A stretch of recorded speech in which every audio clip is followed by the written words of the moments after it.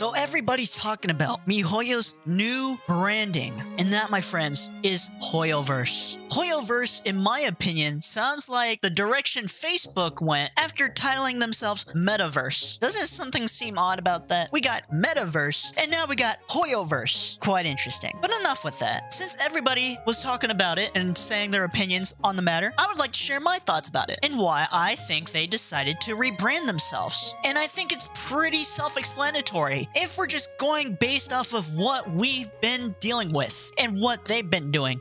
You guys know, MiHoYo is originated in China. And since they are based in China, that means one major thing, censorship.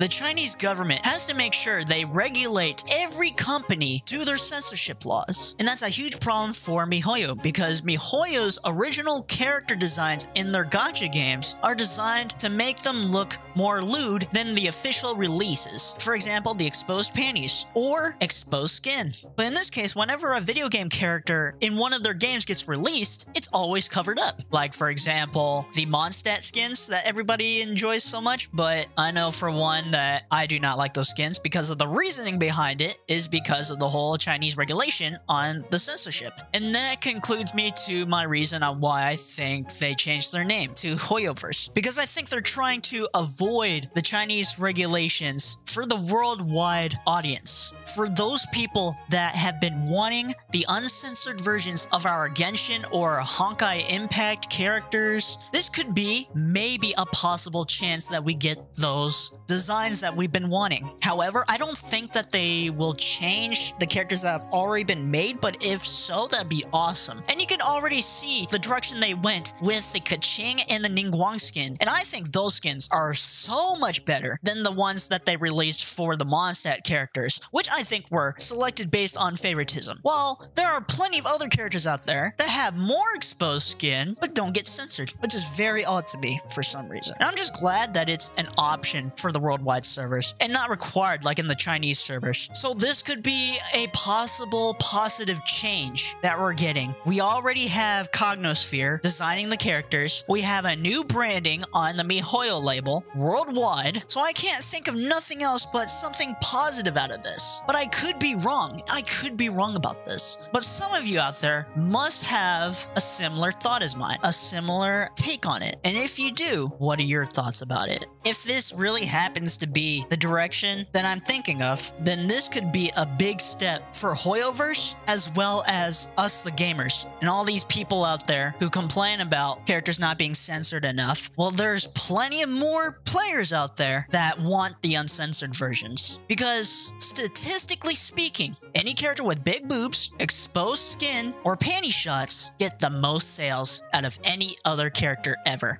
Same goes to male characters. If there's exposed abs, v-necks, pecs, muscles, thighs, those would sell more than the characters that are censored completely. You'll realize it soon enough when you get older. Because most of you who don't like characters being uncensored are probably underage. And not to mention, probably some people out there that are actual adults but can't handle a lot of kinky stuff, which is fine. But yeah, that is all. チュンチュン丸 Yahoo!